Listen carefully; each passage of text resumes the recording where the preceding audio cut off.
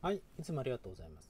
パーソナルブレイクでシアトルさんですね。うん、ケレニック推しっていうあれですかね。もまあ、もともとシアトルファンの方かもしれないですけど。よ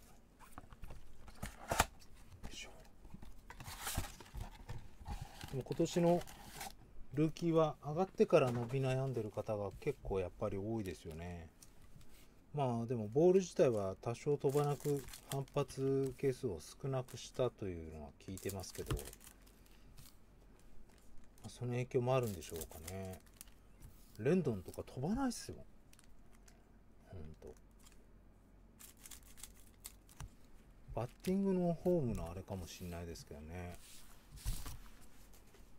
ほんとすくい上げるタイプの強心じゃないとホームランいかないっすよね。はい、じゃあ行きます。マトン君。はい。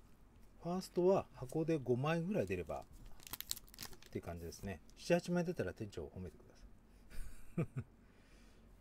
いや、でもなかなか出ないですよ。うん。なかなか出ないですよ。5枚出れば OK な感じです。あ、グリーン。チョイさん来ました。チョイさんの下がグリーンです。あ、サインだ。しかもオリオールズだ。カーステッド。カースタッド。いや、ピッチャーもいるか。お、カースタッド。おお。50シリグリーン。はい。カースタッド来ました。いいっすね。綺麗綺麗。めっちゃ綺麗。ねもうめっちゃキラキラさせますよ。ね。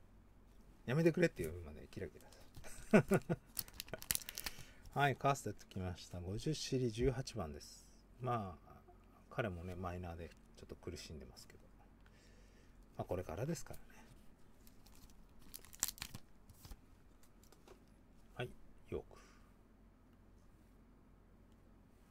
ガブさん、ファースト来ました。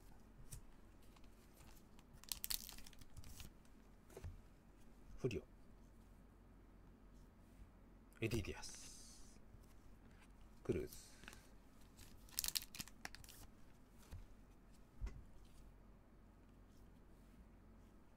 ジャンにウェストバー。で、最後ですね。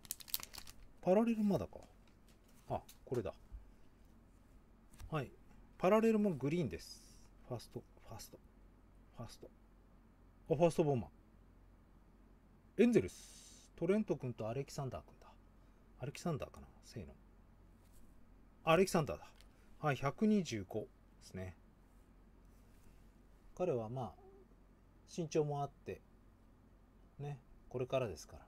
2002年生まれだよね。ドミニクからね、やってきたんですよね。2018年、3年前。ね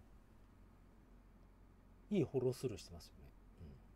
うん、もうちょっと角度つけたらもう、小谷さんみたいな、アッパースイングに変身するんじゃないですかね。よいしょ。はい、サインはカーステッド。で、えーシリアルもアレキサンダー、ファーストボーマンですんで、期待ができるかなというところです。いや、これ面白いね。ちょうどいいんじゃないですか、価格帯的にも。3位オンカードでパラレルも125以下だし。